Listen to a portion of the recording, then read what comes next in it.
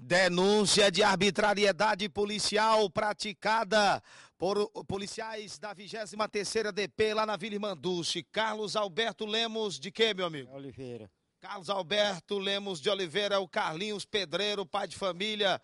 O senhor, no final de semana, carregou um fecho de cana, foi isso? Foi, mas E aí foi procurado delegacia de polícia para visitar na cadeia da delegacia um parente seu. Foi um cunhado meu aí foi agredido lá pelos policial. Hum. Porque eu tava bebendo uma cachaça e eles foram e me agrediram. Essa cachaça tava misturada com álcool da bomba? Não, não, não.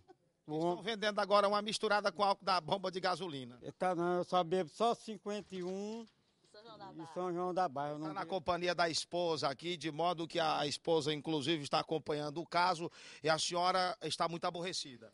Isso, porque o policial Betão é muito saliente. Ele gosta muito de bater nas pessoas. Ele tem como companhia o seu marido, que é pedreiro, tem como companhia a cachaçinha dele, né? É, ele bebe, mas ele não agride ninguém. Porque a cachaça não reclama, a cachaça não diz nada. É. Ele bebe a cachaça dele, chega em casa, vai dormir e pronto. A senhora também não é de reclamar com ele, não. Não, não, não. Hora que ele garante almoço, janta, café da manhã. É, É um bom companheiro, né? é. O nome da senhora? Francineide. O nome do policial agressor é o Betão. Betão, o nome dele é Betão. Betão e a laia dele que você disse? A companhia dele lá, que tava lá com eles, que agrediu ele. Você vai pegar ele de pé, como foi? Deram nele, bastante nele, jogaram ele no meio do calçamento e deram nele. Gente, uma sessão de pisa que era para dar em 10 pessoas, deram tudo nele. Ele tinha uma programação de, de mão de peia, de umas lechadas para darem 10 pessoas e descarregaram tudo no rapaz.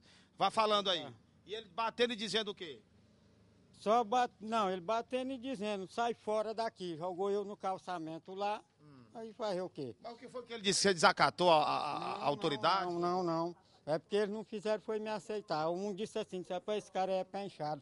Joga ele no rua, na rua logo, aí eles foram batendo logo os outros. Foi quatro, aí me bateram, me bateram. Tá aí, ó, a situação. É, isso aí tudo foi umas lechadas. Foi, foi deles lá. E o pessoal lá da, da onde eu moro estão tudo revoltado com essa situação que aconteceu.